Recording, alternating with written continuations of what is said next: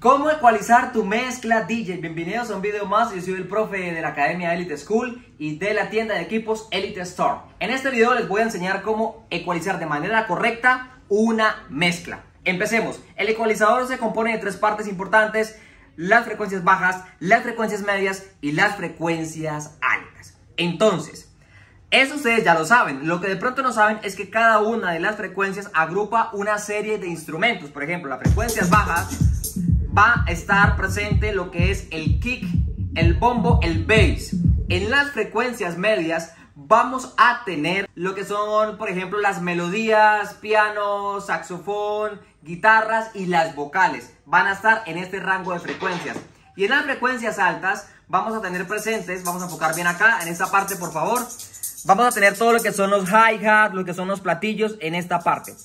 Entonces, Usted debe elegir primero que todo el tipo de ecualización que quiere para hacer su mezcla. Hay dos tipos de ecualización, la ecualización normal y la ecualización isolator. La isolator significa que cuando usted gire la perilla del ecualizador hacia la izquierda, va a cortar todas las frecuencias y no va a sonar absolutamente nada. Y la EQ va a dejar pasar un cierto rango de frecuencias. Eso ustedes lo pueden hacer acá en la pantalla de esta RX, por ejemplo, cambiarlo a isolator a equalizer o también lo pueden hacer directamente desde su, desde su programa DJ si tienen las opciones. Entonces, ¿cómo hacemos la correcta ecualizador? Por ejemplo, a mí me gusta que la mezcla entre con las frecuencias altas porque es una mezcla suave y es una mezcla que va de menos a más. Es una transición suave. Entonces, aquí tengo la canción completa y la canción que va a entrar solamente le dejo las frecuencias altas.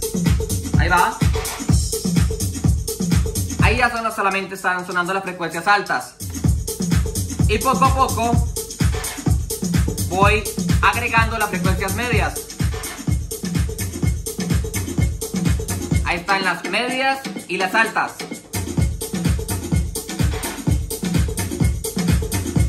Ahora lo más importante son las frecuencias bajas. ¿En qué momento hago el cambio y cómo lo hago?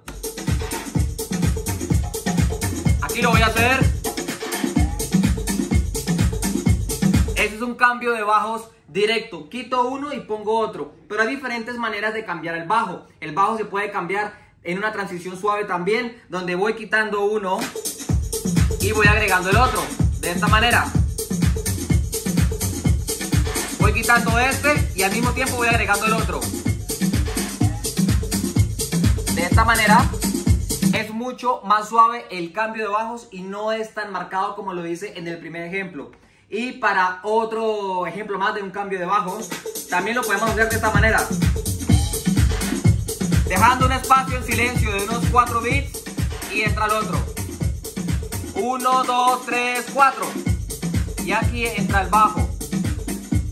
Tenga en cuenta que este tipo de técnicas de ecualización se aplican sobre todo en música electrónica donde tenemos suficientes compases de sobra para poder hacer una transición suave entre una canción y otra. En cambio, por ejemplo, para música latina a veces los cambios son más rápidos y no permiten hacer esta transición tan suave. En el tema de ecualización, usted debe tener presente que nunca puede dejar que las dos vocales se choquen porque pues nadie entendería para dónde coger si bailo con esto o bailo, con aquella y tampoco dejar que las dos melodías eh, se crucen, porque entonces quedaría muy, muy mal la mezcla. Yo soy el profe de la Academia Elite School y de la tienda Elite Store DJ y nos vemos en un próximo video más.